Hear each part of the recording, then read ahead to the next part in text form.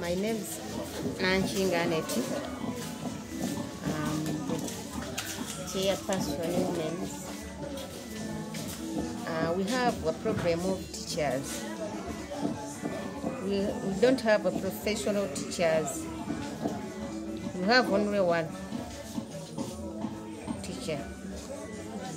Some of them are not professional. How many are they? One of them are professional. Mm. Others are not professional. How many teachers do you have now? We have three teachers, but one of them And uh, how many classes? have three classes. You have uh, infant, baby class. Uh, So you have six classes.